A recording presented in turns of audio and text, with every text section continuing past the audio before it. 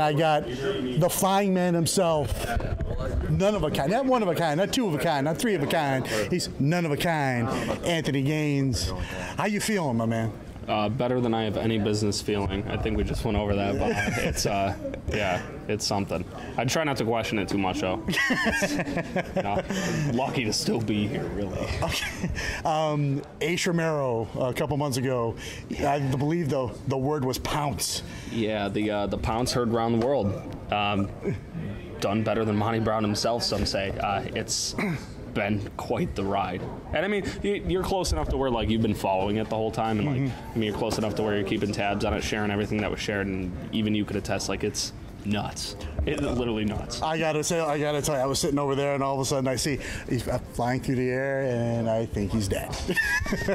well, I mean, if anybody wants to get a shot of these floors, they're like solid tile linoleum floors. Uh, I missed every mat. All of those those mats cost about maybe five, six hundred dollars, and I missed all of them. And I landed on the cold tile, unforgiving floor.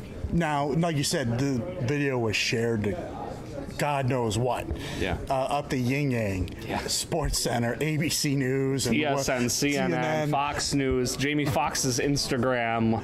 Now, this is another side of the business. You go from the uh, local independent to now all of a sudden you're like national news and Yeah. stuff like that. How do you, how do you handle that added uh, attention? Um, I mean, it's it's something that you can't really plan for, you know. I mean, you have to be put into those shoes when you're, you know, vulnerable. You're least expected to be there, and then all of a sudden, you know, you, you're viral and you're getting phone calls. And I must have done like almost 30 interviews with magazines and websites, and uh, like I said, TSN and, and radio hosts, and it's just like you know, you don't expect it, and the next thing you know, like, there's different takes on it. People are like, "Oh, how's it feel to go viral?" And like, "Wow, this has been a long time coming for you." And then there's people like, "Well, you know, this is fake, right?" Like, dude, tell that to the bruise on my hip, you know, the bruised ribs I have. And I had somebody ask me the other day, like, "How much of that Ace Romero spot was actually planned?" How about none of it? How about we break down the science and physics of it all? That I'm 163 pounds soaking wet, and Ace Romero is 404 pounds, beelining it at me like a freight train.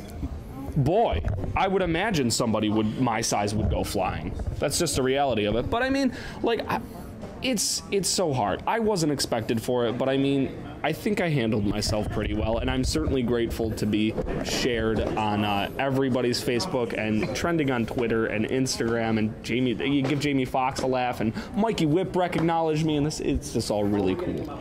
Do you put any added pressure on yourself after something like that? Well, um, the first thing that happened to me was I walked back there. I walked in the back and like I had to talk with the promoter, and he's just like, "You can't top that," and I know I can't top that. I think self awareness is key because the next step in topping that is me dying. and uh, I don't want to die. I'm a pretty good wrestler and an okay human being on my best day. So, I mean, I want to be here for a long time. So let's hope nothing like that happens again. But just goes to show you, you never know what I'm going to do. That's why none of a kind is so much more than just another moniker. Oh, you know what? And he's every bit what he says he is. Not one, not two, not three of a kind, none of a kind. Anthony Gaines, watch this kid.